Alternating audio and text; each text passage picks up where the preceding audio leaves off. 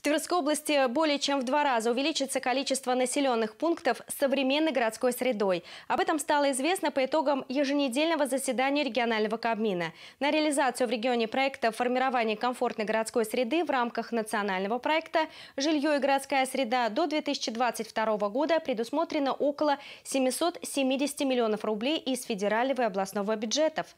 В 2020 году участие в программе принимают 38 муниципалитетов.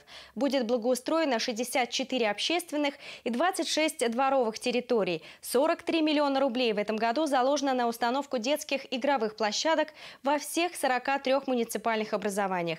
Развитие инфраструктуры дает возможность комплексного развития территории, считает губернатор Тверской области. Все наши муниципалитеты молодцы, и я хотел бы сказать, что э, вот в этом году качество подготовленных материалов э, значительно выше. Это уже такой, так сказать, совершенно новый уровень даже в подготовке э, концептуальных документов и такой предпроектной документации.